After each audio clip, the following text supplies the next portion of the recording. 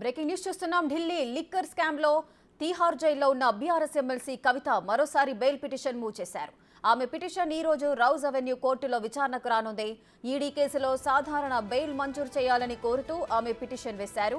ఈ పిటిషన్ను ఈ రోజు సిబిఐ ప్రత్యేక జడ్జి జస్టిస్ కావేరి బవేజా విచారణ చేయనున్నారు. గతంలో కవిత పెట్టుకున్న మధ్యంతర బెయిల్ పిటిషన్ను కోర్టు తిరస్కరించింది. దీంతో ఈసారి సాధారణ బెయిల్ మంజూరు చేయాలని కోరుతూ కవిత తరఫు న్యాయవాదులు పిటిషన్ వేశారు. మరోవైపు ఢిల్లీ లిక్కర్ స్కామ్లో ఇప్పటి వరకు అరెస్టైన వారికి ఏడాదిలోగా బెయిల్ ఇచ్చిన దాఖలాలు లేవు.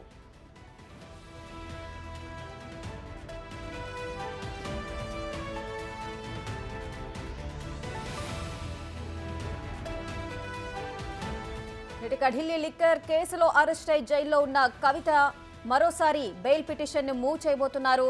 మరి ఈసారి కవితకు బెయిల్ లభిస్తుందా? ఇంతవరకు కూడా మధ్యంతర బెయిల్ పిటిషన్ దాఖలు చేశారు కవిత. అయినప్పటికీ కూడా ఆ బెయిల్ పిటిషన్ అయితే రౌజ్ అవెన్యూ కోర్టు తోసిపుచ్చింది. ఈ నేపథ్యంలోనే ఇప్పుడు మళ్ళీ రెగ్యులర్ బెయిల్ కోసం ఆమె ప్రయత్నాలు చేస్తోంది. మరి ఈసారైనా కూడా బెయిల్ వస్తుందా రాదా అనే ఉత్కంఠ అయితే నెలకొంది.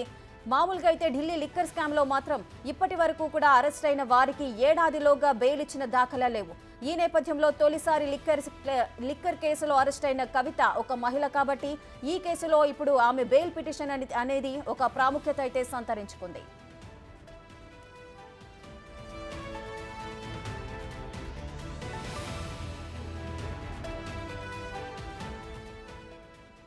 నటిక ఢిల్లీ లిక్కర్ స్కామ్లో తీహార్ జైల్లో ఉన్న బీఆర్ఎస్ ఎమ్మెల్సీ కవిత మరోసారి బెయిల్ పిటిషన్ మూవ్ చేశారు. ఆమె బెయిల్ పిటిషన్కి సంబంధించిన పూర్తి డీటెయిల్స్ మా ఢిల్లీ ప్రతినిధి శివ లైవ్లో సిద్ధంగా ఉన్నారు.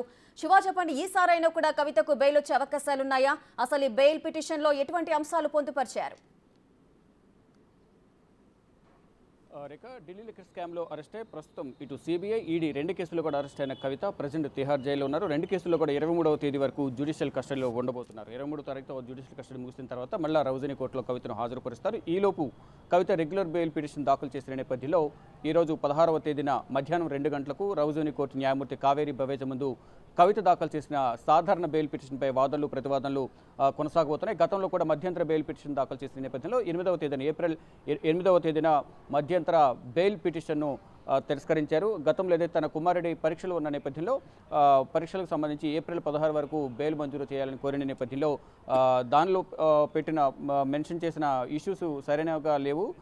ఈ నేపథ్యంలోనే ఒకవేళ బెయిల్ మంజూరు చేస్తే కవిత సాక్షులను ప్రభావితం చేసే అవకాశం ఉంది కాబట్టి కవితకు బెయిల్ మంజూరు చేయొద్దనేది ఈడీ తరపున వాదనలు వినిపించారు. ఈడీ వాదనలతో ఏకీభవించిన న్యాయమూర్తి కావేరి బవేజా కవిత దాఖలు చేసిన మధ్యంతర బెయిల్ పిటిషన్ను తిరస్కరించారు. ఈ నేపథ్యంలోనే రెగ్యులర్ బెయిల్ పిటిషన్పై ఈ నెల ఇరవైవ తేదీన విచారణ జరగాల్సి ఉంది. కానీ మధ్యంతర బెయిల్ పిటిషన్ తిరస్కరించిన నేపథ్యంలో త్వరగా అత్యవసరంగా ఈ బెయిల్ రెగ్యులర్ బెయిల్ను ముందుకు జరిపి అత్యవసరంగా విచారించాలని కోరిన నేపథ్యంలో పదహారవ తేదీన విచారిస్తామంటూ కూడా గతంలో వాదనల సందర్భంగా తెలియజేశారు. దానిలో భాగంగా ఈరోజు మధ్యాహ్నం రెండు గంటలకు కవితకు సంబంధించిన సాధారణ బెయిల్ పిటిషన్పై వాదనలు వినిపించబోతున్నారు